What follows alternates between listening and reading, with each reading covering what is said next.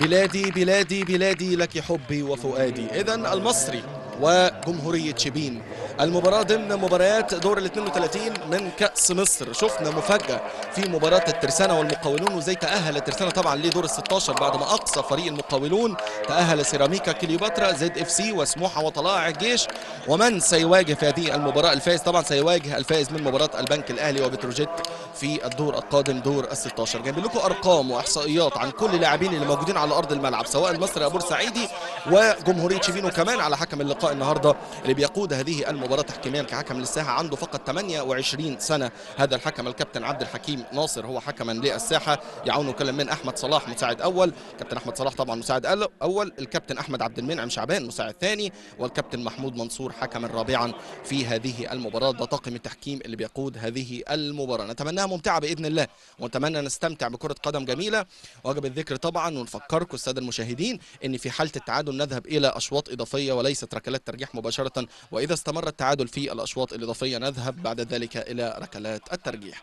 خلينا نبدأ مع حضراتكم باستعراض تشكيلة الفريقين. نبدأ بالمصري كما هو موضح أمامكم في الصورة محمود جاد في حراسة المرمى محمد دبش بي- بيعود لدفاع فريق المصري بجواره محمد طارق back يمين كريم العراقي back شمال حسين السيد في وسط الملعب محمود حمادة وعمرو موسى وعبد الرحيم دغموم فخر الدين بن يوسف وميدو جابر وصلاح محسن. بالنسبة لتشكيلة جمهورية شبين مصطفى محمود في حراسة المرمى أسامة صبحي 28 محمد سلامة 2 ناحية ال back الشمال أبو بكر زغلول ناحية ال back اليمين محمد أبو طالب. في وسط الملعب زياد كرم ومحمد عبد الرؤوف ومحمد وائل محرز. في الهجوم يتواجد حمودي شتا وهو هداف الفريق هذا الموسم.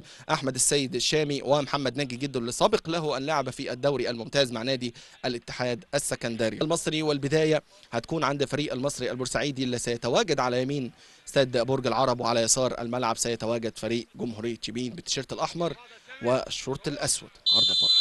بداية المباراة. بصفارة الحكم الكابتن عبد الحكيم ناصر اللي بيقود هذه المباراة تحكيميا كحكم لساحة عنده 28 سنة في عمره هذا الحكم. والبداية عند محمد دبش في خط الدفاع. مع الكورة استلام يلعبها في الناحية اليمنى لسه الخطر لسه الحصار محاولة الانطلاق والاختراق في البدايات بالنسبة لفريق المصري. من اليمين ميدو جابر يلعب كرة عرضية فوق الجميع حلوة الكرة ولكن يطلع حارس المرمى مصطفى محمود ينقض على الكرة ويمسكها بايديه الاثنين وتنتهي الخطورة. ركنية من ناحية اليمين ودي الركنية الثالثة في المباراة. واحدة للمصري ودي الثانية لجمهورية شبين تتلعب قصيرة الكورة. عودة من جديد. ممكن يبقى فيها عرضية. لا لسه فيها فكرة فيها فكرة فيها فكرة. أدي العرضية فوق الجميع. فين الكرة حلوة الكرة يطلع جد بالبوكس يطلع الكرة خارج أرض الملعب. ولكن حكم اللقاء أعتقد أشار لركنية ثالثة على التوالي لجمهورية شبين أو طلعوا بدري ثانية بس. ممكن يكلفوا فريقهم كتير جدا جدا جدا. أدي الانطلاقة التفويتة الجميلة من صلاح. يلعبها على طول من اليسار ترجع له تاني بعد تمريرة حسين السيد. صلاح محسن يلعب الكرة قدامه مساحة ممكن يشوط ممكن يشوط لا اتأخر يلعب الكرة في اليمين اتقفل عليه الزاوية يفتح اللعبة على طول عند كريم العراقي. بيلعب كرة عرضية يبحث عن فخر الدين ولكن الكرة تعدي وتمر. الإبعاد التسديدة خطيرة جدا. تاني تاني تاني. لسه الخطر مكمل. صلاح محسن يشوط كرة بره خالص. مباراة حلوة. مباراة في 30 دقيقة. آه مفيش أهداف بس المباراة حلوة. فيها أمور تكتيكية على أرض الملعب كثيرة. ميدو جابر استلام عايز يشوط من بره المنطقة. فتحت زاوية التسديد يا سلام يا سلام يا سلام صاروخ. صاروخ صاروخ. وجد الثغرة وجد نقطة الضعف. وسدد الكرة بقدمه اليسرى. صاروخ لا يصد ولا يرد. يا سلام يا ميدو. يا سلام يا هداف الفريق في الدوري. يسجل بقدمه اليسرى اكتفى مصطفى محمود بالنظر للكرة وهي تعانق الشباك.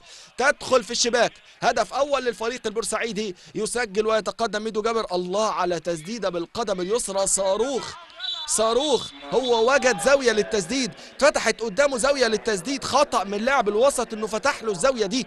سدد الكرة برجله الشمال وسجل الهدف الأول ميدو. هدف أول في الدقيقة 30 زي ما قلنا 30 مباراة مع المصري فاز في 14 وتعادل في 7 وخسر في 9 أدي الكرة الثابتة اتلعبت الكرة فكرة جميلة. يا سلام يا سلام يا سلام التعادل. التعادل راية وتسلل راية وتسلل. الفكرة ممتازة. ماشي تم إلغاء الهدف والتسلل ولكن لازم أتكلم على الفكرة. إزاي اتلعبت عرضية وتم تهيئة الكورة؟ شوف الكورة هنا الأولى ما فيهاش تسلل الثانية ممكن فيها. مصطفى محمود. بيهرب من غير كورة بشكل كويس بيتحرك. أدي الكورة بيضغط فيها اللاعب أحمد الشامي. أحمد الشامي تحبوا الكورة؟ خطيرة. دي التعادل ولا إيه؟ خطيرة. عرضيه أرضية تاني آه لسه لسه لسه لسه الكورة تسديدة بالقدم اليسرى. كان ممكن تاني أهداف المباراة والهدف الأول لجمهورية شبين ولكن الكورة بره. خلاص قفل المنافذ أو قفل الطريق فريق جمهورية شبين. على اللاعب ميدو جابر في الدقائق الأخيرة. لمسة في اليمين الجراءة الكبيرة اللي ظهرت والشخصية اللي ظهرت في اليمين الكورة. انطلاقة على طول حمودي مع الكوره حمودي. حاول ينقل في مركز الظهير الأيمن هرب. تسلل تسلل تسلل. لا اللعب مكمل. اللعب مكمل. خطيرة تسديدة. التعادل. لا لا لا لا لا. مش ممكن. مش ممكن حمودي كاد ان يسجل التعادل. جم... ترجع تاني. حسين السيد اللي بيلعب الكرة الأمامية. انطلاق الدغموم. ياخد زقة. حكم اللقاء قريب. قريب من اللقطة وشاهد على الواقعة بشكل كويس يقول مفيش حاجة. تشتيت الكرة للأمام. تعوم من جديد. لمسة لدغموم. استلام من دغموم. يحاول ولكن من جديد تتقطع من جمهورية شبين. يحاول دغموم من وراه. تعصب دغموم. اتنرفز دغموم. ترجع تاني الكورة. ومعاها صافرة نهاية الشوط الأول. تقدم الفريق البورسعيدي بهدف دون رد كان عن طريق ميدو جابر في الدقيقة 30 جمهورية شبين حاول كثيرا وصمد دفاعيا لمدة 30 دقيقة وبعد ذلك ذهب للأدوار الهجومية وكان قريبا من تسجيل هدف التعادل بل سجله وتم إلغاؤه للتسلل. إذا نهاية الشوط الأول 1-0 المصري متقدم على جمهورية شبين استراحة قصيرة مشاهدي اون تايم سبورتس في كل مكان ونلتقي بإذن الله مع مطلع وبداية الشوط الثاني. ودي حكم اللقاء بيقول لهم يلا عشان نبدأ الشوط الثاني. وطول ما النتيجة 1-0 طبعا ده لسان وتفكير فريق جمهورية شبين طول ما النتيجة 1-0 أنا لسه في المباراة. أنا لسه في الجيم.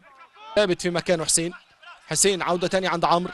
نقلات وتمريرات للمصري لمحاولة سحب لاعبي جمهورية شبين من مراكزهم الدفاعية.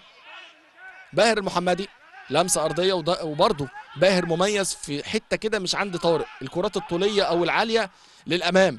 أمامية الكورة لمسة خطيرة رأسية ولكن عند حارس المرمى خطيرة جدا الكورة. بتتكلم على إدارة بتفكر صح وتفكير في المحترفين بشكل سليم. آدي حسين السيد السلام في منطقة الجزاء المطالبة بشيء حسين. بقدمه اليمنى تسديدة ضعيفة جدا.